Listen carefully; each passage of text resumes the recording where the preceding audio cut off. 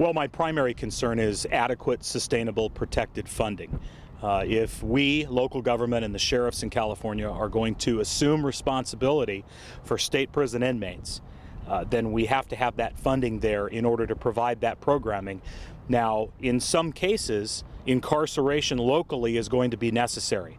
For inmates, for criminal offenders sentenced under Assembly Bill 109, they're going to serve their time locally. But we have a local jail bed capacity problem for a variety of reasons. We lost 192 beds to the to a fire at the Honor Farm. Uh, we've shut beds down for budget in order to submit a balanced budget.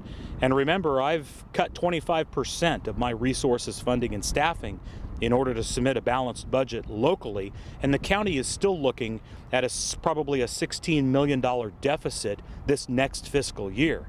So the economy has not recovered, and we've seen unprecedented declines in revenue. But my primary concern is that I'm hiring people back using one what I believe is one-time funding under under AB 109 and corrections realignment. And if the state legislature doesn't fund that in the future, if they don't continue to refund that program every year, then I risk having to lay those people off. My hope is that the governor will maintain his commitment uh, to continuing to fund these programs. And remember for your viewers, we're investing money in community-based programming, not just incarceration. We have terrific partnerships under what was developed or put together as the CCP, the Community Corrections Partnership. That partnership includes probation, the courts, the district attorney's office, mental health, and many, many other local community providers that focus on community-based programming rehabilitative, educational, vocational opportunities because really we want to break people out of the cycle of addiction and violence.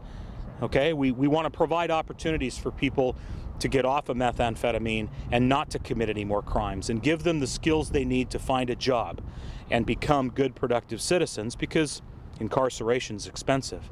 Exactly. But there still are those people who need to be incarcerated, who quite frankly deserve to be incarcerated and and kept away from the rest of us because they've had so many other opportunities, but they're repeat criminal offenders. Uh, our, our largest challenge right now, our biggest challenge in public safety is property crimes. Theft, burglary, metal theft, crime in the agricultural community, all being driven by addiction to methamphetamine. State prison inmates have a completely different set of rights that have been afforded them through, you know, multiple lawsuits and, and court uh, decisions that is completely different than a local county inmate who probably has never been to state prison and we're dealing with them locally. My concern is, again, goes back to jail bed capacity. I just don't have the capacity to house state prison inmates. Now, hopefully I will in the future. Um, we are partnering with the state in pursuing funding under AB 900 Phase 2, which in, in essence is the state helping us fund local jail bed construction and facilities. We are going to replace the 192 beds we lost to the fire here on the Hackett Road campus. But those type of projects, expanding the public safety center that you see behind you, or rebuilding those beds out by the other minimum unit, that's two, three, four years off. In the meantime, Full, full implementation of AB 109 is expected to be complete in three years.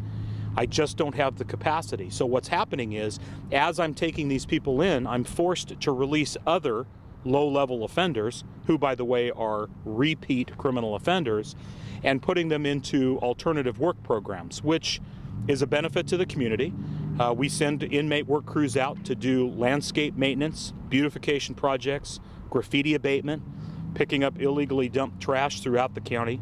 So there are things that, that we can do uh, with work crews, but it's very limited because of the classification in, uh, issues. We're dealing with a more serious, more violent inmate in custody, on top of all the mental health issues right now, which are a challenge. So this is a difficult process, but it's one that we've said we will take on, and we will make it work in partnership with the community but it has to have adequate, sustainable, protected funding. Without that critical element, this whole thing falls apart. They've been through the local criminal justice system six or seven times before they see a day in state prison. So our hope is that we'll be able to leverage our community partnerships and uh, and the uh, you know corrections uh, the Community Corrections Partnership and that we'll be able to provide services that will help us get these criminal offenders out of the criminal justice system. That's our goal. It's going to be a, a, a challenge, especially given our current economic uh, climate. If the state legislature decides that they don't want to continue to fund this, the governor is um, attempting to put together a ballot initiative in November of 2012 that would ask the people of California to ensure that this funding uh, for this shift of state prison inmates to local government is adequate, sustainable, and protected. I guess my hope is that the people of California will support public safety. I'm not sure they're going to support uh, any more tax increases, but it's we'll have to see exactly what the state legislature and the governor decides to do. We thought about all these things in our partnership with the state, but as one of 58 sheriffs in California, we agreed in concept to partner with the state of California because of the challenges of Coleman Plata, which is the lawsuit that was filed um, alleging that prison overcrowding contributes to inadequate health care. That's also the case where the United States Supreme Court ruled in favor of the plaintiffs and supported the lower court's decision to implement a prisoner release order. In other words, the court agreed state prison overcrowding is a problem and contributes to inadequate health care. The sheriffs were pragmatic and collaborative in their approach and stepped up and told the governor, we'll help you get through this crisis, but here are the things we need. We didn't get those things that we asked for or negotiated for when the legislation was introduced to the state, state Senate and ultimately signed by the governor. So now what we're doing is racing to put on a ballot initiative to try to protect this funding.